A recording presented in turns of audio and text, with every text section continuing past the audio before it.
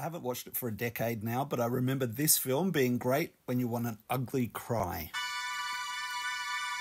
The Black Balloon from writer director Elissa Down is about the complicated ways that family have a hold on us.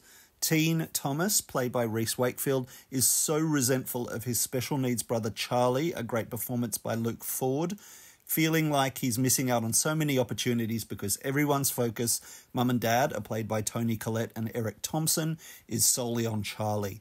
Elissa Down does a great job bringing us along on Thomas's maturing.